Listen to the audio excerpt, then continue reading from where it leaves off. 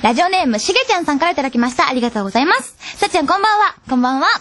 第3回の放送で、さっちゃんは特技がないという話をしていましたが、さっちゃんのプロフィールの特技にはもう一つ、タイピングとも書いてありますよね。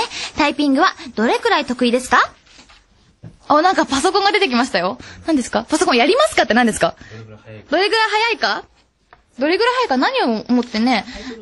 タイトル、三沢さん、ヤダンセルフ。いきますよ。せーの。あ、間違えた。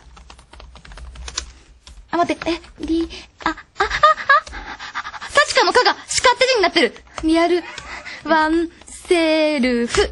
あ。早い早いでも、見て見て見て見て、みんな。ちょっとね、サチカの彼女を見てほしいな 地味？三沢幸香のかが、ちょっとね、鹿のままでお送りしちゃった。名前変えます？特技にね、あの、タイピングって書いてたんですよ。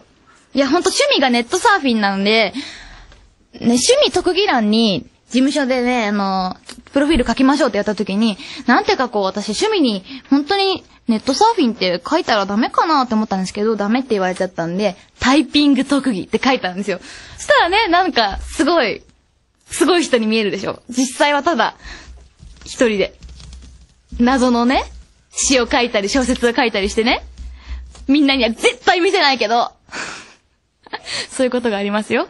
はい、ということでお時間来ちゃいましたよ。2枚しか読めなかった